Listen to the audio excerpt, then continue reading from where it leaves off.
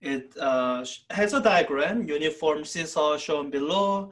It's balanced on a fulcrum located at three meters from left hand. And you have uh, two boys with two different masses. Uh, let me give them a label so that I have something to call them by. M1 and M2. Uh, wait, oops. Um,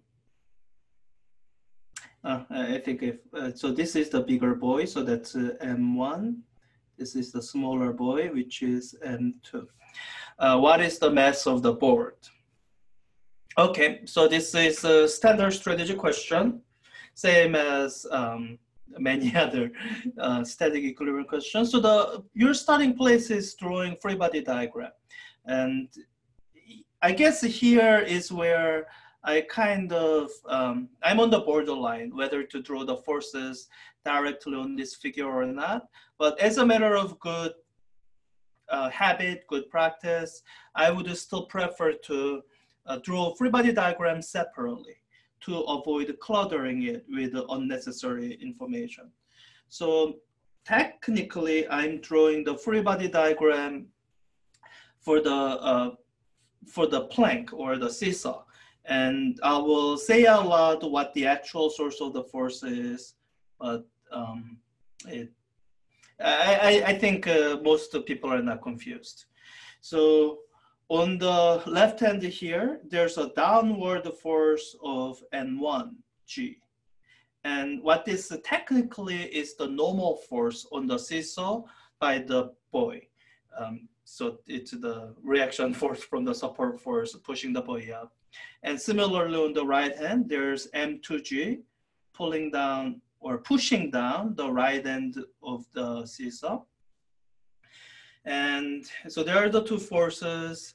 You see that it's not quite, um, um, so this is what should be, um, this is what should be in your in the back of your head whenever you are dealing with a steady equilibrium it's the equilibrium condition.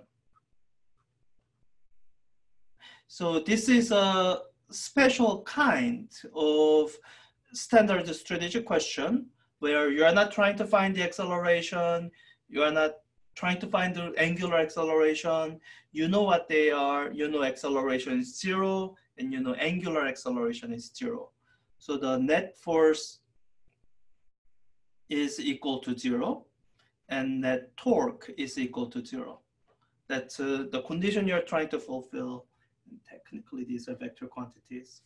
So as you're drawing your free body diagram, that's the question you should be constantly asking. Is this diagram consistent with zero net force? It's not.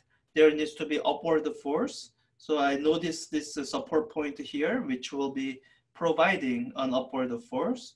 So I draw an upward force of, I guess I'll label it N. It is normal force N. It is normal force from the support point.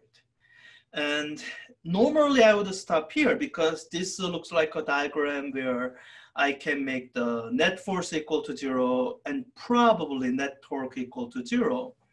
Except I guess two things might stop me. If you plug in the numbers and try to see if the net torque is equal to zero, you'll find that it's not. And then, you know, reading the question again, you realize it's asking for what is the mass of the board, which means we have to take into account what the mass of the board will be. So I go back through the question and look for these keywords that really should be there. Uniform seesaw, um, so that I can assume that the center of mass is at the center, the geometric center of the seesaw. So I need to draw this downward force the, the weight. Um, this is actual gravitational force pulling down on the seesaw and it's technically acting over the entire length of the seesaw, but this is the special property of the center of mass. You can treat all those gravitational force spread throughout the entire seesaw as if it's acting on that single point center of mass. And I guess I should, so it's eight meter long, so this distance here is one meter. All right, so that's my free body diagram. Um, Step number one. Step number two, I have to define my coordinate axis. And this is a good point to choose where your center of rotation is. Whenever you are dealing with a torque, you have to be thinking of torque about what point. And when you're dealing with equilibrium situation where net force is equal to zero, you actually have complete freedom where to pick your center of rotation. You can pick it to be left-handed here, that's completely within your choice. You can pick it to be anywhere. You can pick it to be center of mass of the seesaw. Here, I would probably go with picking the support point as the center of rotation. I mean, it physically is, so that's one of the reasons it might be a good choice. The other is uh, if I choose my center rotation here, then what that'll do is it'll make the torque due to the normal force here equal to zero. And what I'm hoping for is that I only need to write down the, the second equilibrium condition equation, and that'll give me enough information to solve for the unknown, the mass of the, um, the mass of the seesaw. So that's what I'm hoping for. That's why I'm choosing that as the center of um, rotation and I guess my uh, actual coordinate axis will look like. Uh, so that point being origin, this is my x-axis, this is my y-axis. So that's step number two. Step number three, uh, decompose the force vectors into x and y components. Here, I don't need to.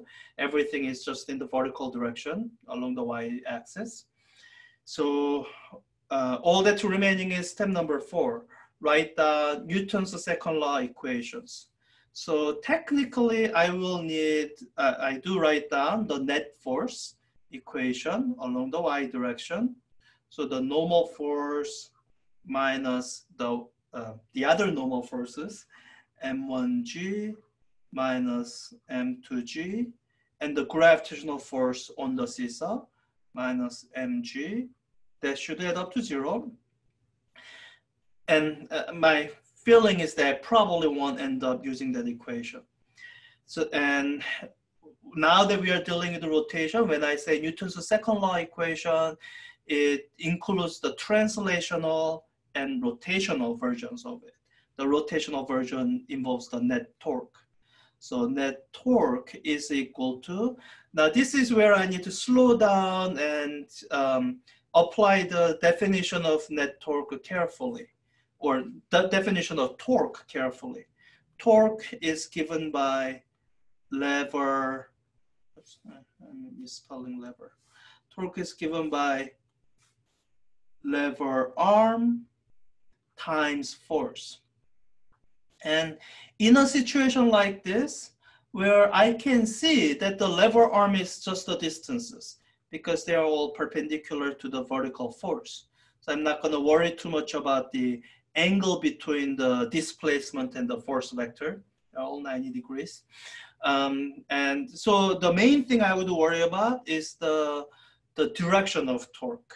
So some of these forces are causing the seesaw to rotate clockwise, and some of these forces are causing the seesaw to rotate counterclockwise. And I would pick one direction as being positive. Let's call clockwise positive. And uh, then the other direction becomes the other sign, negative. And as I write this net torque equation, I'm going to be careful with the signs. Whenever a, a torque due to a force is clockwise, I give it a positive sign. Whenever torque due to a force is counterclockwise, I give it a negative sign. So let's uh, write that down. I guess um, I should really just give this a label. Let me call this um, call this L1, call this L2, and call, oops, I already wrote that down. Call this uh, capital L. So my net torque is, um, the torque due to the, the force at the pivot point is zero you have zero lever arm. That's why I chose that as a center rotation. And the torque due to gravitational force on the, uh, or let me match this up. Um, I mean, you don't have to, but it'll help me not forget anything. So I'm going to line them up so that I'm writing down torque due to each of these forces in a way they match up. So I'm right now doing the torque due to force M1G. So it's going counterclockwise. I'm calling that minus. So the torque here should be minus this lever arm, L1, times the force, M1G. Um, the second one, it uh, uh, the torque there is clockwise, so it should be plus L2 M2G. And the final term, uh, this torque here, it's clockwise again, so plus capital L mg is equal to zero. So when you look at this second equation, you can see that it has everything in terms of known quantities, except for one, the mass of the seesaw. So that's uh, what I was hoping for. I was hoping that I would only need to use the second equation and I don't have to really go to the net force equation because um, it turns out I don't need the normal force from the support anyway. So let me solve this for the, uh, the mass here. So uh, to solve it for the mass, I move all the other terms over to the other side. So LMG is equal to, changing the sign, plus L1 M1G minus L2 M2G. Let's cancel out some of the things that cancel out. G cancels out. And I'm solving for M. So I need to multiply both sides by 1 over L, which will divide the right-hand side by L and cancel out L from here. So this is my answer. Capital M is equal to L1 M1G minus L2, oops, I got canceled G. Um, L1 M1 minus L2 M2 over L. Um, I guess today, let me plug in the numbers. There's one question in particular where I do want to um, end up um, plugging in numbers. So, um, so let me just do that. so plugging in the numbers. Um, L1 is 3, M1 is uh, uh, 83. So let me do it this way. 3 times 83 minus L2 is 5 times the smaller mass, 45, uh, equal to, and then divided by L, oh, but L is 1 meter, so that's not going to change the number. So, okay, so I get positive answer. That's a good sign. That means, um, I guess, it worked out.